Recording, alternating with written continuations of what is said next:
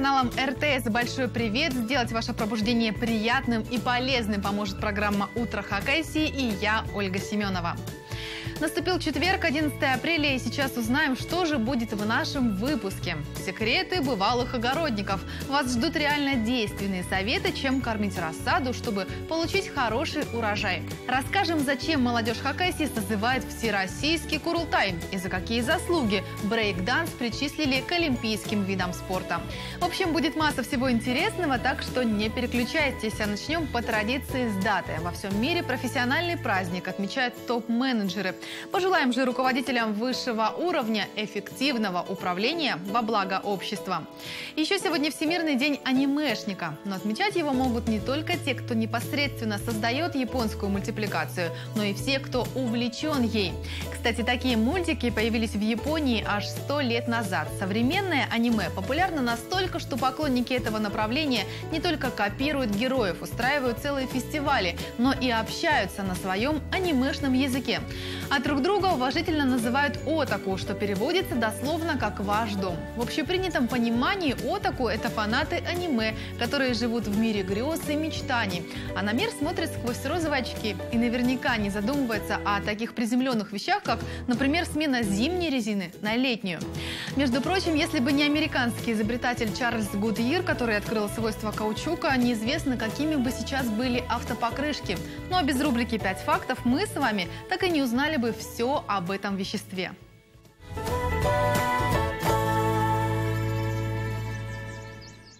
Каучук происходит из двух слов «кау» и «учум». На языке американских индейцев название этого материала переводится как «плачущее дерево». На сегодняшний день спрос на каучук в разы превышает его добычу из-за большой популярности в разных производственных сферах. Основным способом добывания является сок дерева гивеи, но ряд экспертов планирует в будущем использовать в качестве источника одуванчики – еще в 19 веке автопокрышки и резиновые коврики имели белый или бежевый цвет. Только в 1912 году они стали обычного черного цвета из-за добавления в резиновую смесь углерода. Рецепт резины, которая не размягчается в жару и не становится хрупкой в мороз, случайно произвел Чарльз Гудиир, нагрев каучук и серу на плите и тем самым получив процесс вулканизации. Существует два вида каучука – натуральный и синтетический. Каучук, имеющий натуральное происхождение, никогда не растворяется в ацетоне или спирте. Водонепроницаемость и непроводимость электричества – особенность этого материала. Этим воспользовался изобретатель Чарльз Макинтош. Он догадался прокладывать слой резины между двумя кусками ткани. Правда, из-за этого в жаркую погоду плащ становился мягким и имел неприятный запах, а в холод не был эластичным, поэтому он далеко не сразу стал популярен. Синтетический каучук входит в состав ракетного топлива, а резина из синтетического каучука осуществляет теплоизоляцию, звукоизоляцию и гидроизоляцию домов. Натуральный каучук очень стойкий, его не растворить агрессивными химическими веществами. Синтетический не так стоек к химикатам. Раствор синтетического каучука в бензине называют каучуковым клеем. Получение синтетического каучука – одно из великих достижений 20 века. Однако, как и многие другие, людям это принесло не только пользу, но и вред. Ежегодно в мире выбрасывается до 100 миллионов тонн автопокрышек. В естественных условиях они разлагаются не менее века, а при сжигании выделяют чрезвычайно ядовитые газы в атмосферу. Хакасия, доброе утро! Просыпайтесь, друзья, навстречу новому дню. Вижу, не все из вас пробудились в хорошем расположении духа. Кто-то и вовсе не выспался, лежит до сих пор, подтягивается, как удав. Ну а что, змеи тоже, как люди, любят позевать. Эх, сладкий сон, наверное, приснился. И хоть на часах раннее утро, многие уже на ногах в танцы из ванны на кухню пробегают. Да и песенки веселые под нос напевают. Например, крутой хит от группы Queen.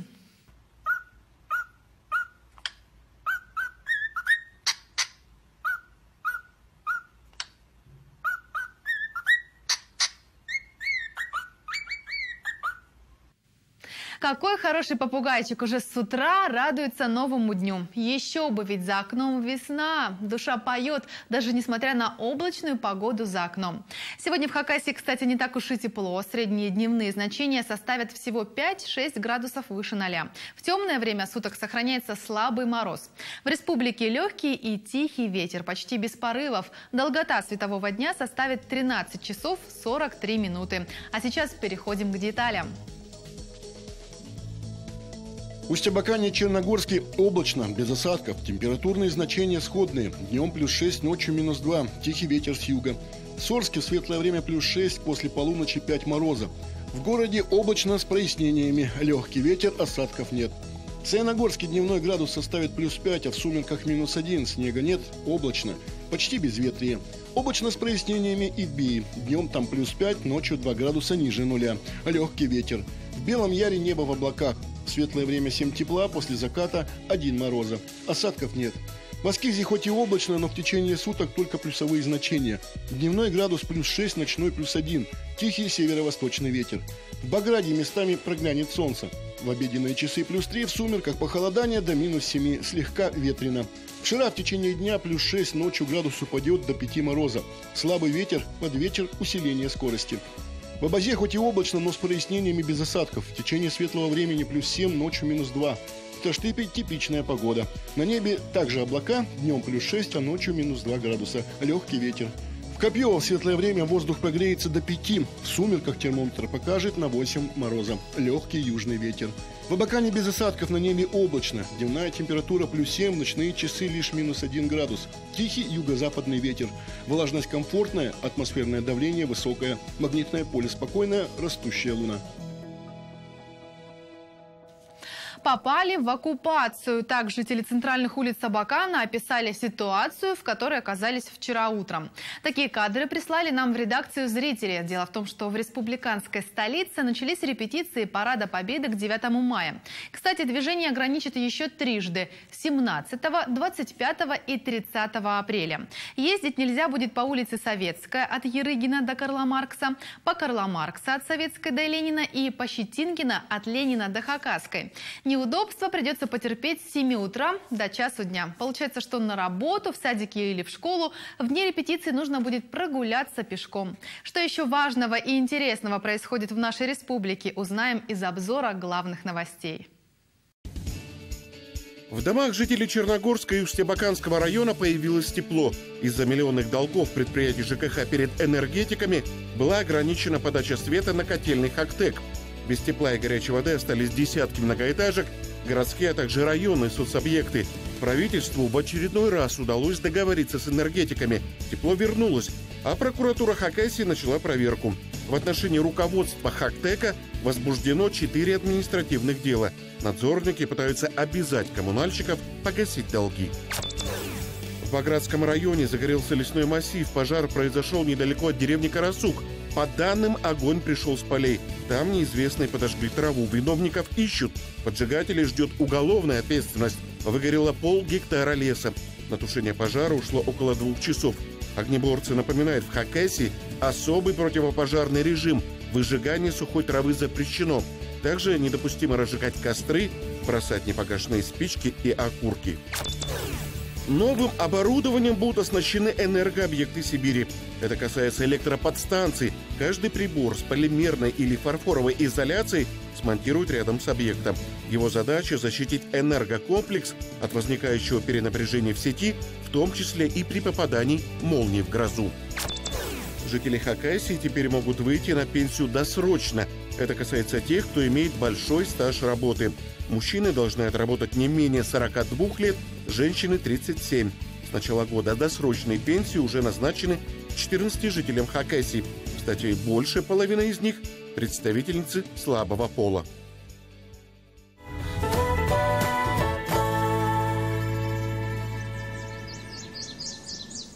Вот еще одна новость. Завтра в Хакасии впервые пройдет Всероссийский съезд молодежи хакасского народа Курултай. Что это за проект, нам сегодня расскажет председатель Хакасской молодежной организации «Асхыр» Айла Тюндишева. Доброе утро, Айла. Здравствуйте. Ну, как бы понятно, что такое формат форум, фестиваль, а э, съезд что подразумевает под собой?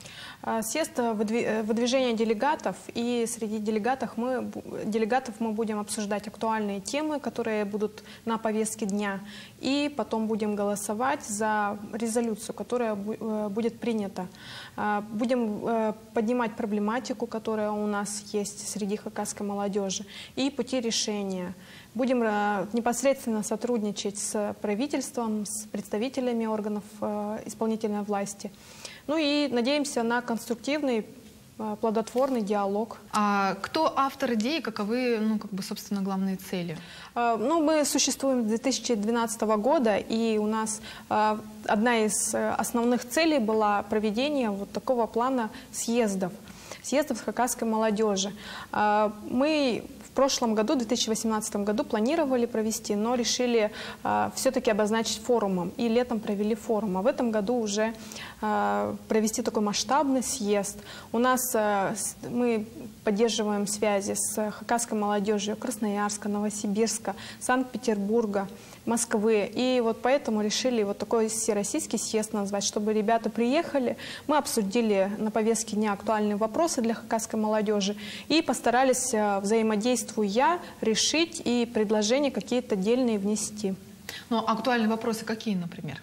Вообще у нас будет пять площадок.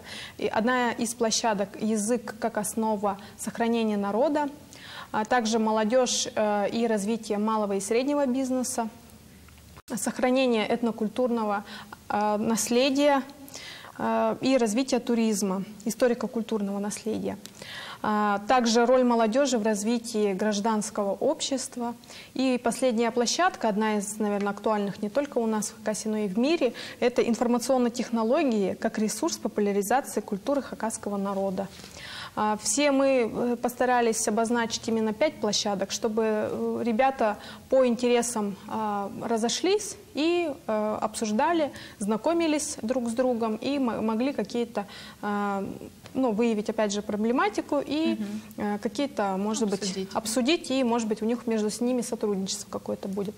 Все площадки интересные, модераторы этих площадок и спикеры будут одни из самых компетентных людей – в республике. Мы постарались э, именно вот, чтобы молодежь была информирована и все было именно на то, чтобы был диалог хороший, плодотворный. Ну, понятно, что тематика как бы очень обширная, я, ну, как бы, да, можно сделать такой вывод. А насколько эта площадка будет открыта не в том плане, что как бы двери, двери да, открыты, а в том плане, э, все ли смогут прийти высказаться, то есть для кого э, проводится да, мы, съезд? Ну, мы стара... для молодежи из районов, 8 районов у нас приедет угу. и 4 города. То есть самая активная молодежь, они выдвигаются, выбираются у себя и, ну, получается, приезжают. Это и общественные организации какие-то, да? Да, и общественные, и работающая молодежь, студенты у нас. А, то есть вся неравнодушная молодежь. Но мы под итогом будем а, резолюцию, проект резолюции уже готов, а потом мы ее доработаем, естественно. А что, для чего нужна эта резолюция? Что резолюцию надо? мы отправим а, в правительство, чтобы они рассмотрели, чтобы все проблемы, они же разные, ведомства взяли на себе на вооружение. То есть мы, как граждане нашей республики, должны э, показать, какие сферы, может быть, недостаточно а, внимания уделены на эти сферы. Поэтому все это мы должны очень тщательно и хорошо проработать, чтобы действительно каждый голос был услышан. И даже вот эти строительства, экология наша, она не только национальная, конечно, тема, но тем не менее э, одна из важнейших проблем на сегодняшний день, и особенно в Хакасии. У нас Согласна. среди молодежи, допустим, есть предложение, чтобы вместо строительства, допустим, этих разрезов а, более уделить внимание туризму или технологиям вот этим, чтобы мы больше развивали. Вот Япония, они же живут как-то вот именно на информационных технологиях, развиваются как-то. Почему бы у нас э, на этот упор не сделать? Ну, то есть э, много очень интересных предложений среди молодежи, потому что молодежь, она продвинутая, будет очень интересно. Хорошо, а у меня последний вопрос. Где и когда вы собираете молодежь активно? А, завтра в 10 часов в Центре культуры и народного творчества у нас регистрация с 10 до 11. И потом открытие, ну, торжественное открытие. И на весь день у нас, получается, все закончится в 6 часов. Мы примем резолюцию. А, вот. То есть э, у нас программа очень насыщенная, плотная, но очень интересная. Спасибо большое, Айла, что нашли время заглянуть к нам в студию. Желаю вам хорошего дня и удачи. Спасибо. Всего доброго. У нас в гостях сегодня была председатель Хакасской молодежной организации Асхыр Айла Тюндишева. Но не переключайтесь, впереди вас ждет масса позитива. И подборка лучших видео, и секреты опытного садовода. А прямо сейчас звездный прогноз.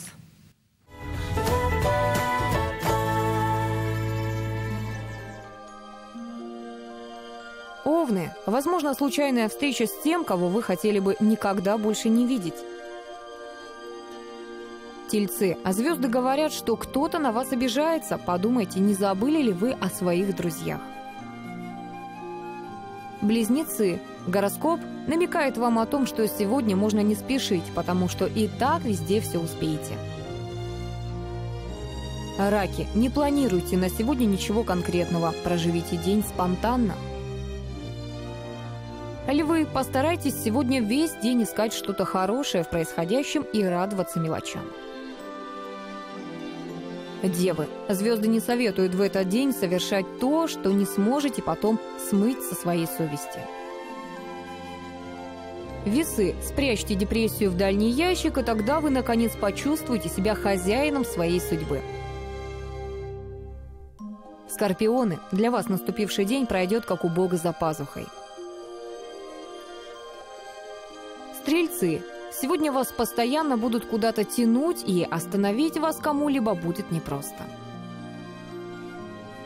Козероги, не стоит сегодня пытаться быть остроумным, чтобы потом не выглядеть смешным. Водолеи, не смотрите сегодня людям в глаза, вы не найдете в них ни ответов, ни понимания – и перестаньте требовать от окружающих больше, чем они могут. Рыбы, сегодня вам придется примерить маску гордыни, которая оградит вас от всяческих низостей со стороны знакомых или сотрудников.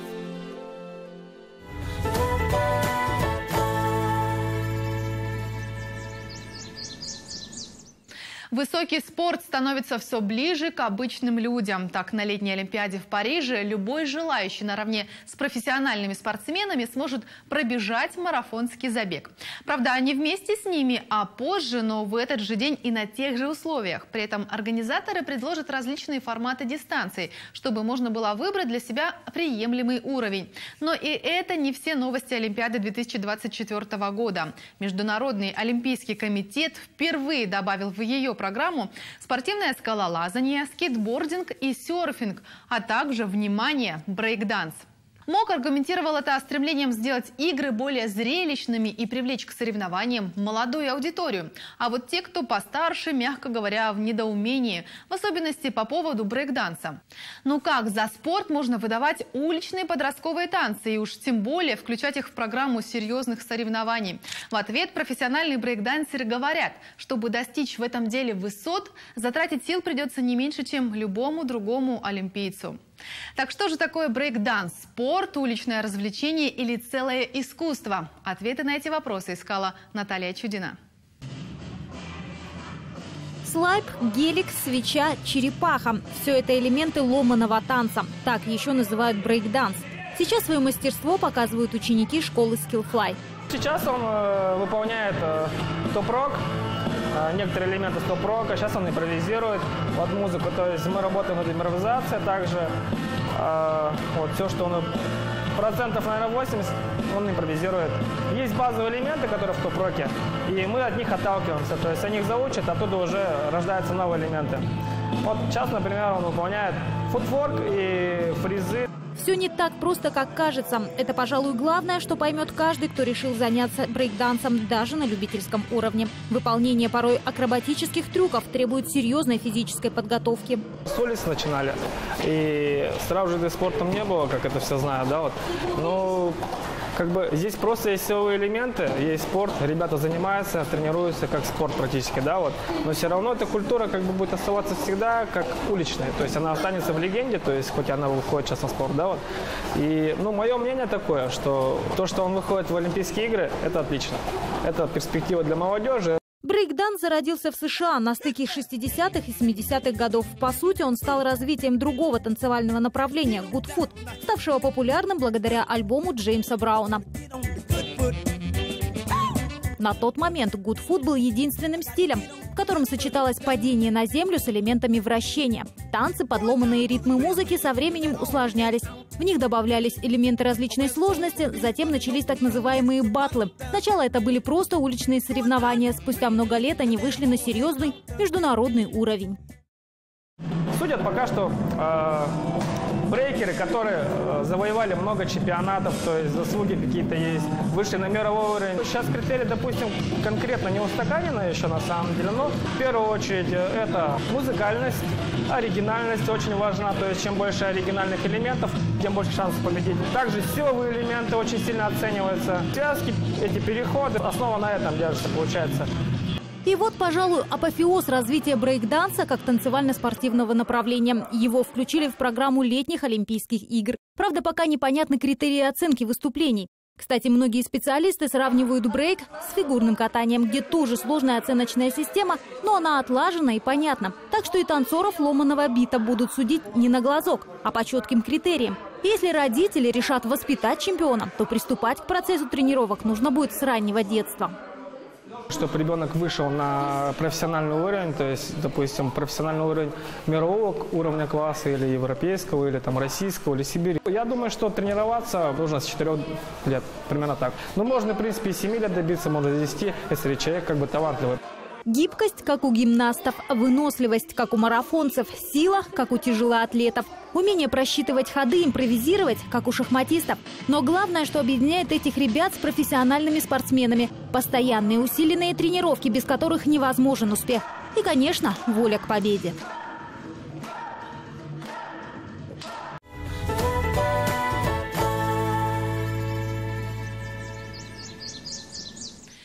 Здоровое питание – один из главных трендов нашего времени. Современный покупатель все чаще берет товары с подписью «эко», при том, что ценники на них значительно выше.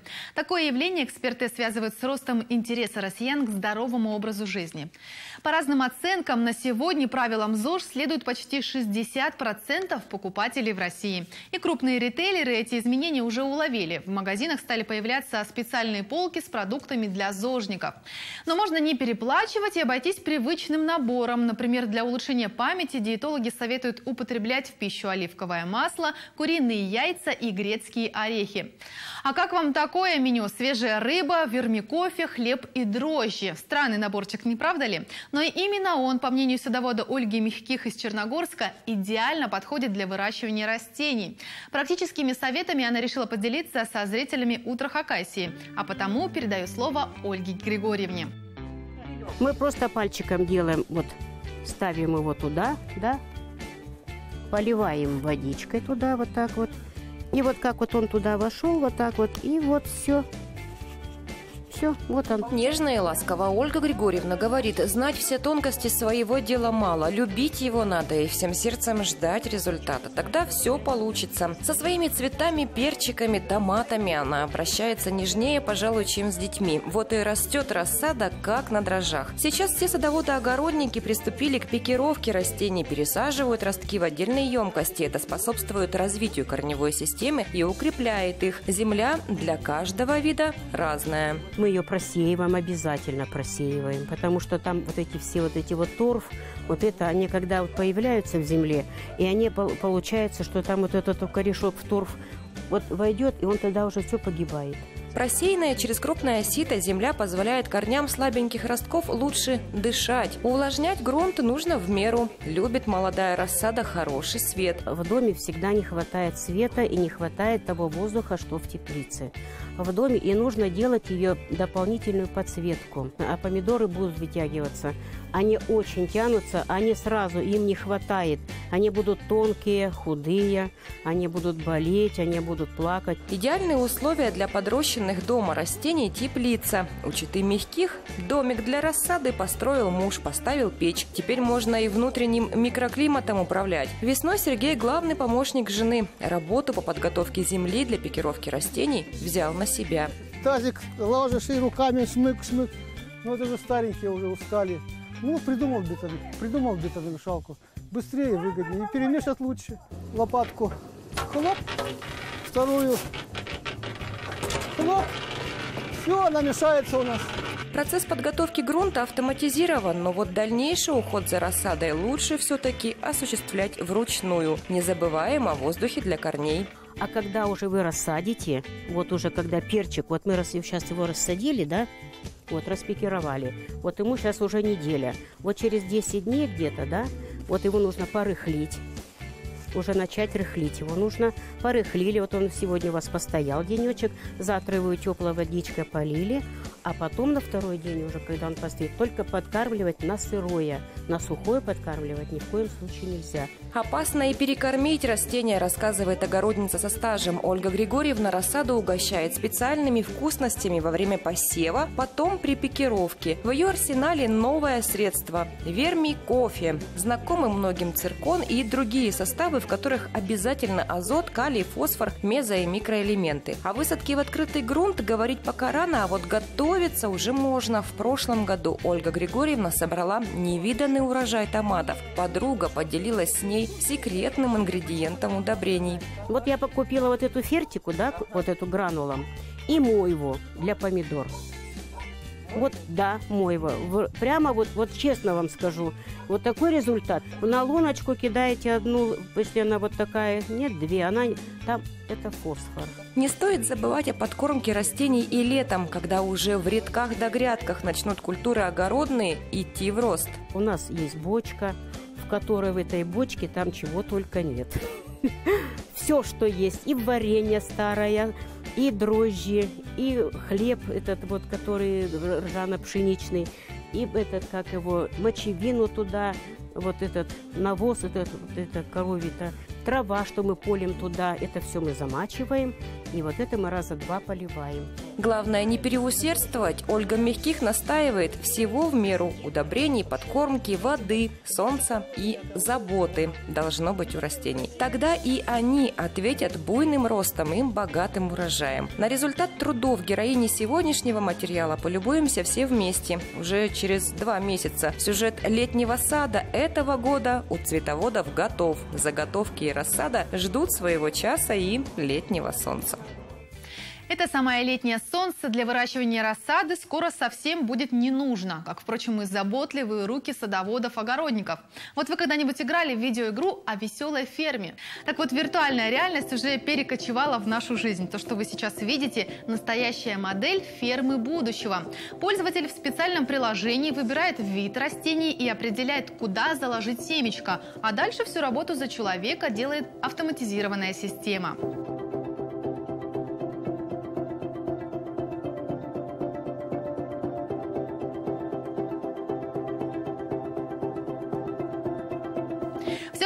Остается сделать потом – собрать урожай, а между делом определить место закладки для новых семян.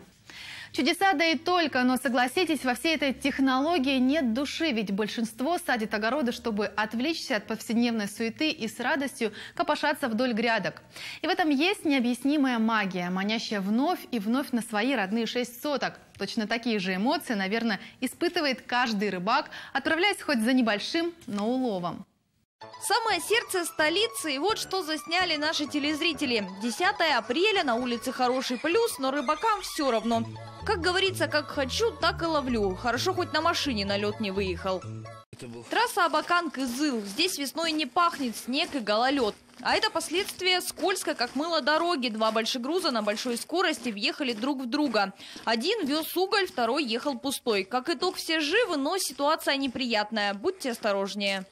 Сам живой в больницу вывезли. Ну, не знаю, что-то серьезное. Мы его не видели, скорую вызвали. А это видео о добре и зле. Сегодня в районе станции Ташиба железнодорожники спасли собаку, выброшенную людьми умирать. Что ж, поведение людей заставляет задуматься. Ну, беги теперь. Да не бойся, не бойся, никто тебя больше не обидит.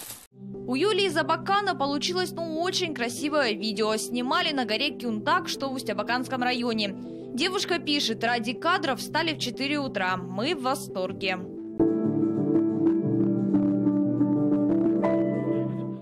Осторожно, много иностранцев. Это гости из Австралии, которые решили совершить большое путешествие по России.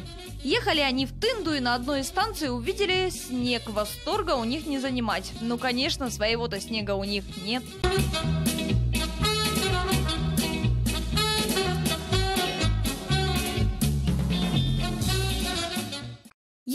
Стали свидетелями чего-то необычного и интересного, присылайте свои фото и видео в WhatsApp, Viber или Telegram по номеру, указанному на экране.